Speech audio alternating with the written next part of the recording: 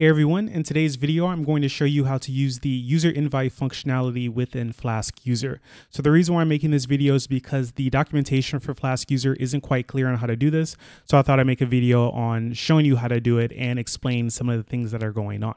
But before I get into that, I just want to mention I have a course called the Flask Extensions course available. I cover a few extensions, uh, I think about 12 here, that are very common in Flask. So if you're building a Flask app, chances are you're going to use several of these extensions.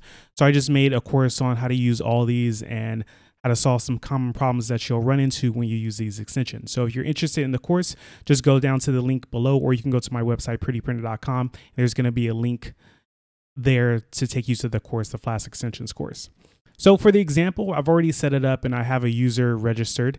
And if I go over to my code, basically what I have right now is a very simple setup for a Flask user app. So I have my user table and I'm using the uh, email login. So I have enable email here and enable username is false. So I'm using emails only. Just know that if you're inviting users by email, then you have to have the enable email turned on. So that's why I'm mentioning that. Um, I have my email stuff set up here. I'm going to change my password so don't try to send emails with my account. And then these two configuration values down here, user enable invite user and user require invitation are the ones that I'll be demonstrating in this video.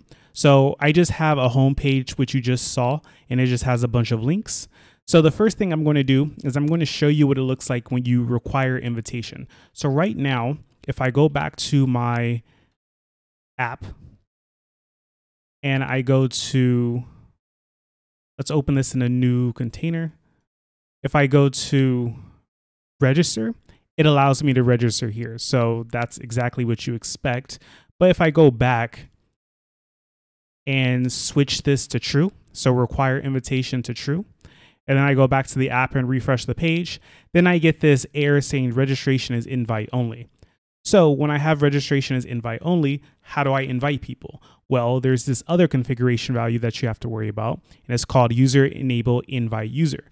But this isn't the only thing that you have to do. So if I put that to true and go back to the app, we'll see something happen here. I get a config error. So basically it's telling me I need a user invitation class uh, to use this user enable invite user. But the thing is the documentation doesn't tell you exactly what the user invitation class is. So I'll go ahead and create one now. So I'll go up here to my models section. This is just one file, but just imagine I had a file for models and I'm going to create a new model. So I'm going to call this model user invitation. So user invitation. And it's going to inherit from db.model. Doesn't have to inherit from the user mixin. And of course, I'm going to have an ID because it's a SQL Alchemy model and all of them have IDs. And I'll set the primary key is true. And then for this model, I need two fields and two fields only. One field is going to be an email field and the other field is going to be an invited by user ID field. So these two names have to be exactly like they're written here. And the reason is is because Flask user is going to be looking at this class and then getting those fields to do something with them. In this case, it's going to save the email that the user invites and it's going to save the ID of the user who sent the invitation in the first place. So I'll show you that in the database in a moment. But first, let me just create the columns. So the email column is just a string. So I'll just make it a string of length 100. And the invited by user ID is going to be an integer. But it's also going to be a foreign key back to my user table. So in this case, the name of my table in the database is users, table name users here, and then .id. So that creates a foreign key back to the user table. And because I have db.create all within my create app function here, it's going to create the database when it refreshes, which it just did, or it's going to create the new table in the database, which it just did. And now I can take this user invitation class and I can pass it to my user manager class here when I instantiate it. So it's going to be a keyword argument and the name of the argument is user invitation class equals and then the actual class name. So if this is in a different file, you have to make sure you import the class first and then you can assign it here. Unfortunately, Flask user doesn't have any kind of init app, so you just have to use the uh, user manager here, but you don't really do anything with the user manager afterwards in most cases, so I suppose it's fine in this case. So if I add that, it should work. So let's see. Okay, so now I see it working again, but how do I actually invite a user?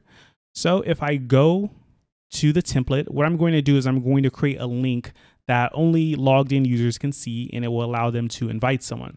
So if I go to the template here, it's just a list of links. What I'm going to do is I'm going to check if the current user is authenticated, which means they're logged in. So authenticated. And I'll just put the endif down here. And if they happen to be authenticated, I want to show another link. So this is going to be pointing to url_for and then user.invite user. And then let's see, I have the link. Okay. And then uh, invite user. I'll just call it that. So now if I go back to my app in the one that I'm logged in, I see this link here for invite user. If I refresh this one, the link doesn't show up because I'm not logged in. So now I want to click this and this is the page for inviting a user and I just have to put in an email and click invite. So here I have some temporary email thing and I'll put the email in, hit invite, and it should send the email and I'll just go over and I'll wait for the email to appear. Let me refresh and there we go. So we see, uh, dear, you know, this email you've been invited to join. Uh, of course, you can customize all this text if you want, but this is the default behavior. And then here you just open the link. I'll open it in the same environment. The email is already there, and then you can just add a password and then register.